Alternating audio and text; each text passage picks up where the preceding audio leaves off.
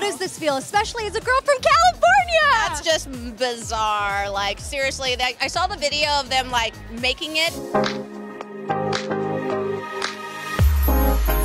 That's such a cool video to have, and that was when it actually hit me because there's so much going on. Like I came here not even that long ago to watch Blake get his, and the fact that all of a sudden here I am, it just was just a shock and amazing. And everybody that's here, like a Jimmy and Irving and Blake and they're all huge people in my lives that I wouldn't be here without without them. So it's just hearing their words and taking time to like talk about it is just it's amazing.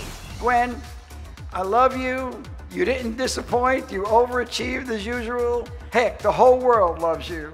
God bless you, baby. Gwen once wrote, I'm just an Orange County girl living in an extraordinary world.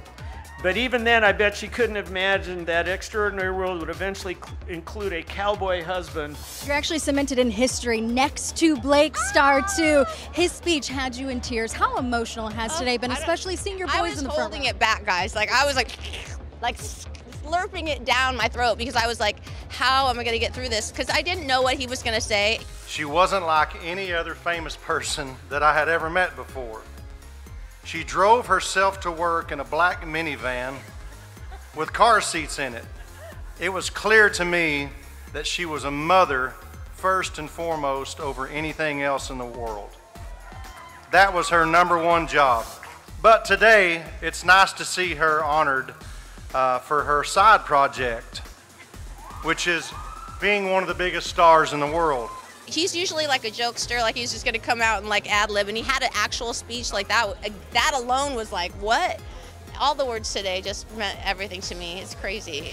My best friend, my husband, Blake Shelton, I love you so much. You have given me the kind of love I never knew before the minute I met you, I knew I was home, and I'm so, so proud that you're mine. I can't believe it. I love you. It makes you assess your life and go, wow, how did how did this happen? And it went so fast. It's well deserved, Gwen. Thank you. Thank you so much.